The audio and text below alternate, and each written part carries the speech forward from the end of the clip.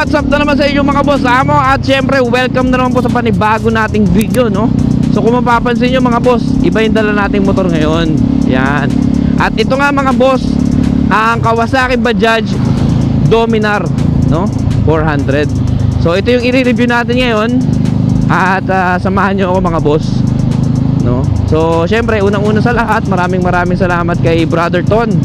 Yan, ah, dahil ah, pinahiram niya sa atin tong kanyang motor para ma-review natin. Actually, ito yung version 1, may lumabas na na version 2. Ah, at ito yung pag-uusapan natin ngayon kung ano ba yung ah, makukuha nyo o ano bang nilalaman nitong Dominar 400, di ba? O, under to ng Kawasaki. So alam nyo na. Siyempre, pag gawang Kawasaki yan eh siguradong maasahan din talaga yan. Hindi yan basta-basta ano, hindi yan basta-basta motorsiklo lang. Quality yan, di ba? Hindi ko alam kung naririnig na maayos yung boses ko dahil naka ano na to eh. Naka aftermarket pipe na to kaya medyo malakas yung ano niya. Malakas yung tambucho niya. So i-check natin lahat yan mamaya. Pero bagong lahat, paliliguan muna natin to para para makita nyo kung gaano kakinis at gaano kaganda yung forma nitong ah, Dominar. Alright?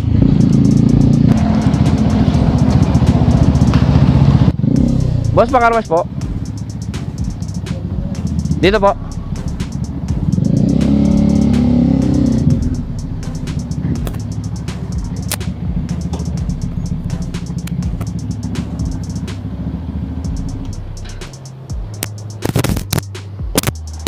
So ayan mga boss, ah ayan, yan yung logo ni Brother Ton. So ipapakarawash muna nga natin yan para siguradong poging-pogi. Di ba? A few moments later. So ayan mga boss, no? So nililinis na ngayon si Dominar 400 para swabing swabe siya. Kita natin yung ah, tunay niya kagandahan at kamachuhan. So ayan yan, nandito ngayon tayo sa Power Shift. Dito lang yan mga bossing ah, sa may ah, ah, Malolos Bulacan. Ayan, along the way lang po. Yan dito.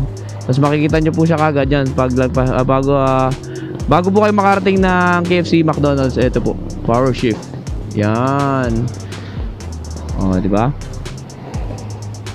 Alright. So ayan, antayin na lang natin siya malinis. Tapos ah diretso review na tayo. Tingnan natin yung kanyang mga specs at uh, tingnan natin yung kanyang buong itsura. Alright. So see you later mga bossing. Alright. A few moments later. So ayan mga bossing. Okay na. Nalinis na si ah, Kawasaki Dominar 400. Ayan, kitang-kita niyo naman. Grabe, napaka-pogi. 'Di ba? Hmm. Saan ka pa? 'Di ba? Okay, boss, thank you ah. Ayun nga pala oh, bro, ito sticker oh, bigyan kita. Tsaka thank you kay ah, Brother Ronald sa pag-assist sa atin. Yan. Thank you, boss ah. Alright. So ayan. Okay na. Thank you, thank you nga pala dito sa Powership uh, Car Wash at saka siyempre kay ah, kay Brother Ronald. Shout out sa'yo bro. Bro, thank you ah. Sunod ulit.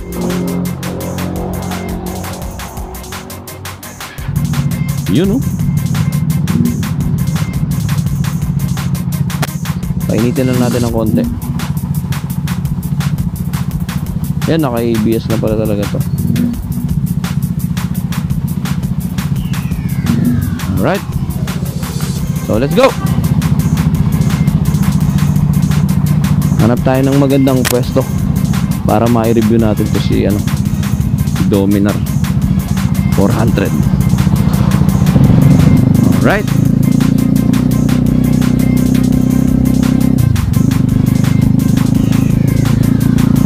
So grabe no? Napaka-komportable niyan dalhin. Sarap. Grabe napaka-komportable niya mga bossing. Para siyang hindi 400cc Magaan. Tapos yung handling niya napakaganda. Tsaka napaka-komportable. Talagang ano to ah Napakasarap sa long ride. Hindi hindi mananakit yung katawan mo. So yun nga no mga bossing no? Ang ano Ang masasabi ko lang sa first impression ko sa kanya Talaga napaka-komportable niya. Since uh, naked uh, naked sports bike nga siya, ang ano niya, ah, ang riding position niya upright. Kaya talagang hindi mananakit yung likod mo sarap niyan dalhin. Napaka-komportable oh. Sarap. Hanap lang tayo ng magandang pwesto mga bossing. Alright? Tapos pag-usapan na agad natin tong ah, motor natin na to. Ay, motor ni Brother Ton na Kawasaki Dominar 400. Alright?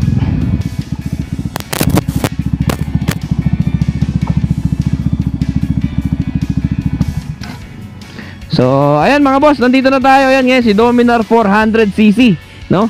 Yan ay ah, under ng Kawasaki. Grabe, napakaangas kaya. Oh. Simple lang pero napaka-komportable niya. Ah, bagay na bagay ito talaga sa pang long ride eh. Tsaka comfort niya. So, umpisahan natin na kagad yan mga bossing, no? Umpisahan natin sa kanyang panel gauge. Ayan. Pag binuksan niyo yung kanyang panel gauge, ayan, kitang-kita niyo naman, ayan. Siyempre, may speed, fuel, time, meron, RPM, odometer, tsaka meron pang iba yan, siyempre. Kung gusto nyo iba-ibahin, meron pa yung iba. Yan, trip 1, trip 2, yan, odo, RPM. Tapos sa handlebar naman niya, mga bossing, ito, sa kanan, siyempre yung brake, tapos meron siyang kill switch, tapos, sa kabilang side naman, nandito nga yung high beam, low beam. Andito rin yung passing. Ayan. Passing light. Alright. Tapos ang kanya signal light. Yan. Yan. Yan o. Signal light. Ganda. Ganda talaga. Okay. Just nandito rin yung kanyang tambucho. Ang kagandahan, meron siyang maliit na panel dito. Na indicator pa yan. ABS. Diyan yung makikita naka side stand so meron na rin siyang side stand indicator pag naka side stand siya ayan mag-iilaw yan dyan di ba dagdag security rin niya kasi baka maiwanan mo naka side stand delikado yan battery temperature tapos may logo ng ah, Bajaj yan Bajaj kasi to mga boss under ng Kawasaki yan napakalaki din ng kanyang tangke kita mo naman napaka masculine na kayang magkarga ng hanggang 13 liters ang alam ko 13 liters to eh yan Alright. Tapos dito naman tayo sa harap. Yan. Napaka-masculine talaga ng dating niya, no? May ah, visor. Tapos LED na rin yan. LED signal light. LED rin ang kanyang headlight. Tapos syempre, ito mga bossing ay naka-telescopic fork. Pero ang alam ko yung bago na yata ngayon is naka-inverted fork na. Pero ito telescopic. Pero kita mo naman yung shock. Grabe, ang laki. 'Di ba? ABS Tsaka naka disc brake. Ang laki din ng disc brake niya, oh. Napaka solid oh. Yan. Tapos yung size ng gulong niya, ang nakalagay dito 120 by 70 by 17. Sa harap, ang alam ko ang likod niya is 150 by 60 by 17. Andiyan din yung radiator niya. Yan. Tapos pagdating naman din sa may bandang gitna, ayan diyan nga yung uh, kanyang tangke na napakalaki, napaka-macho. Tapos yung makina niya, ito nga yung pinagmamalaki ng Bajaj. Yung kanilang makina is DTSI. Yan yung triple spark, no? Ibig sabihin, tatlo yung spark plug niya. Siyempre, kapag tatlo yung spark plug, mas malakas, uh, mas mabilis makasunog ng uh, gasolina, mas maganda yung combustion. Diba? Tapos ito kasing tambucho, ayan, pinalitan na kasi yan ni, ano, ni Brother Ton. Hindi na yan yung stock na, na pipe. Aftermarket pipe na yan, kaya maganda yung tunog. Solid. Tapos yung upuan niya mga bossing, napaka-komportable. Grabe, ang ganda. So yung makina niya nga is 373cc. Tapos uh, pero sa uh, ano na yan sa papel naka 400cc na yan, naayos na yan. So pwedeng pwede na talaga yan sa ano sa highway. NLEX, SLEX, kahit saan. Pwedeng pwede na yan. Pasok yan 400cc kaya wala kayong magiging problema. Kaya napakaganda. Single cylinder yan mga boss. Kaya pag 400cc single cylinder, uh, medyo maganda rin kasi tipid siya sa gasolina. Since isang cylinder lang siya. Tapos uh, uh, single overhead cam. Ayan, nakalagay no. 373cc. Tapos single overhead cam, ang kanyang uh, cambio naman o kanyang gear is 6 uh, 6 gear manual. Tapos meron siyang uh, liquid cooled. Ayan, may, may radiator nga siya diyan. Ayan. Tapos yung shocks niya naman sa likod, naka mono shock siya, no? may piggy bank uh, ano suspension Yan. Tapos naka-disc brake din yung likod. Ayan, mga bossing, makikita nyo, naka-disc brake din siya. Tapos sa ABS na rin yan. Napakalaki nung kanyang swing arm, oh. Tapos yun nga, yung katulad sinabi ko kanina. Ito kasi hindi na to, ano, hindi na to stock. Pero yung size niya, sabi ni Brother Ton, stock pa rin yan. 150 by 60 by 17. Ayan. Tapos yan, pagdating naman sa likod, tingnan nyo naman. Oh. Kahit nakatalikod, machong macho pa rin eh. Di ba? LED yung taillight, LED yung signal light. So talagang wala kayong masasabi. Napakaganda.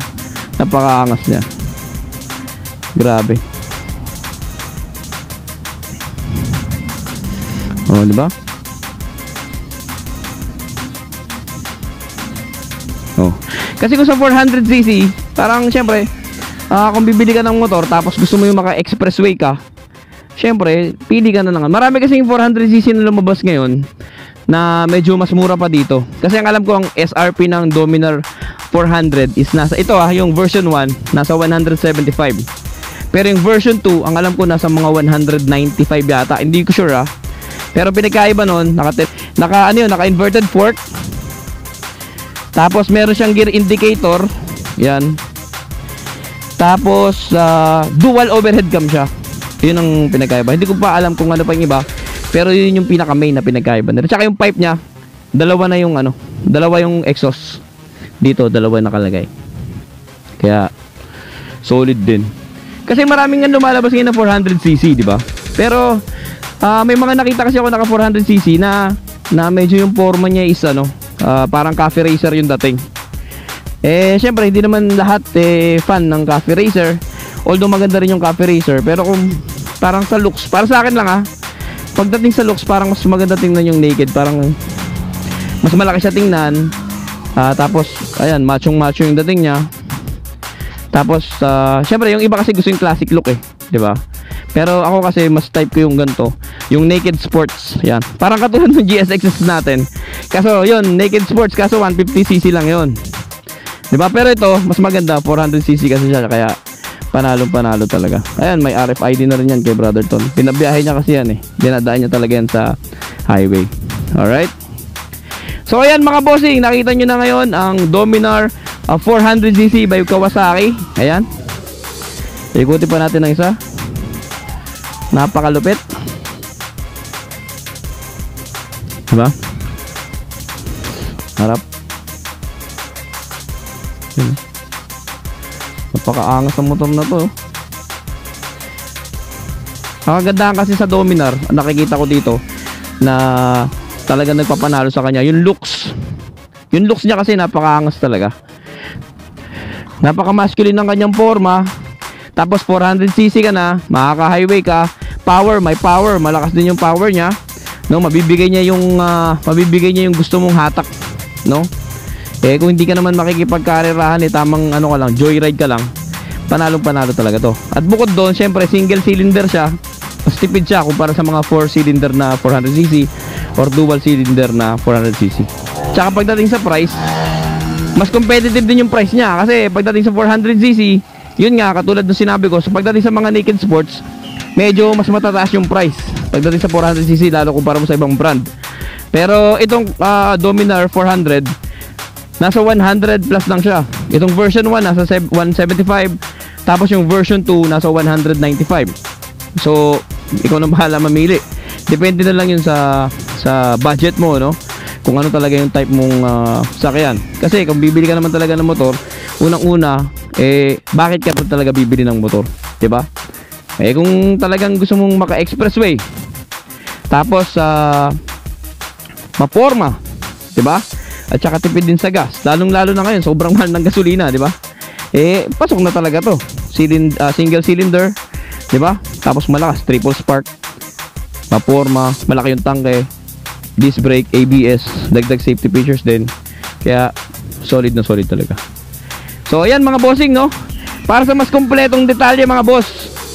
Ha, para mas sa kompletong detalye, panoorin nyo to. Alright?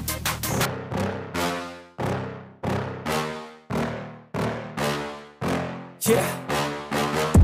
Please tell me that I can't, that I won't, that I fail, that I'll never make it out, yeah.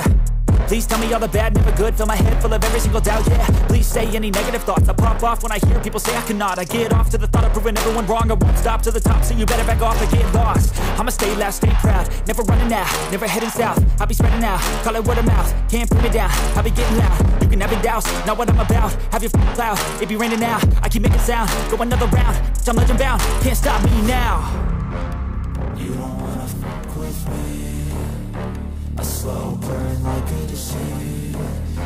Just tell me that I can and I'll show you things that you couldn't believe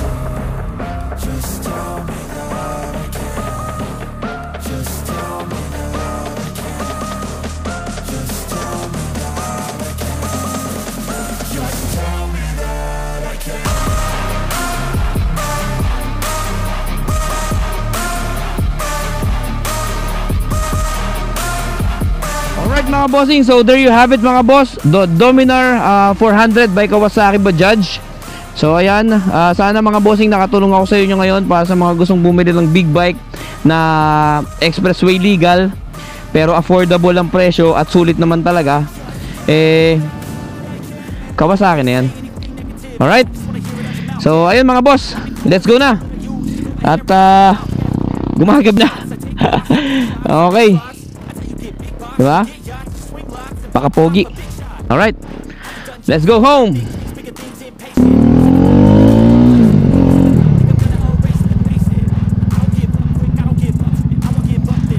Boss, thank you ah. Buti na lang may sticker ako, kakapagawa ko lang eh. Oo, boss oh. Baka paumbong yung pinagyan ko nito. Ah, ganun. Oh, shoutout ka muna, naka-video ko.